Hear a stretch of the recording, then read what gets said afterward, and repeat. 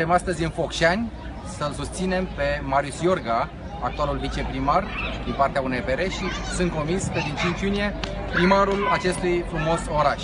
Frumos, dar care va fi mult mai frumos peste 4 ani, după un prim mandat al lui Marius Iorga, cel care astăzi ne poartă în fața a peste 300 de oameni într-o coloană, într-un marș legal pe care îl facem astăzi pentru a arăta cât de iubit și de susținut este Marius Iorga. Este unul dintre candidații cu care ne mândrim aici în Focșani și sunt convins că toți focșenenii vor fi foarte bine pe 5 iunie că cea mai bună variantă este să pună ștampila pe vulturul uneperist și pe Marius Iorga.